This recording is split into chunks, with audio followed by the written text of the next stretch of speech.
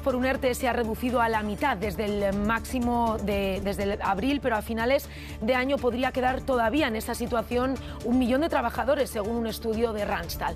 La pandemia, aseguran, ha agudizado la crisis laboral y los jóvenes son uno de los colectivos que peor lo tienen.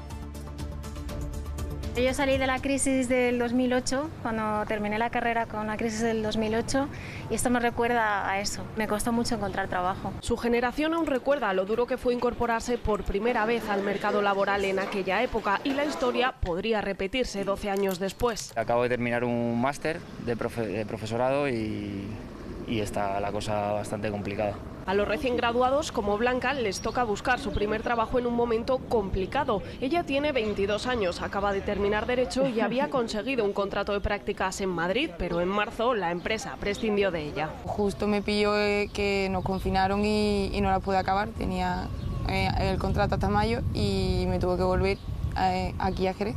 Los menores de 25 años, como ella, son especialmente vulnerables en esta crisis. El paro entre este colectivo ha aumentado un 53% con respecto al año pasado, pero los más afectados, según los datos de los servicios de empleo, son los jóvenes de 25 a 29 años. En esta franja de edad está Javier. En marzo su empresa hizo un ERTE ese mismo mes. Su mujer también se quedó sin trabajo. Nos encontramos en, casa sin, cobrar el los sueldos que teníamos, con una vivienda a pagar y con un coche. Entonces lo pasamos bastante mal. Aunque ya se ha reincorporado a su puesto de trabajo, otros no tendrán la misma suerte. El último informe de la OCDE señala a los jóvenes menores de 35 años como los grandes perdedores de esta situación. Son unos jóvenes que van por su segunda crisis es decir, y esto ineludiblemente lleva a una precarización que ya es a nivel laboral, que también va a ser a nivel salarial. Esto significa disminuir o bajar en la escala social respecto a la clase social de tus padres. Para revertir la tendencia, los expertos señalan la necesidad de formarse y centrarse en estudios que tengan que ver con investigación y desarrollo.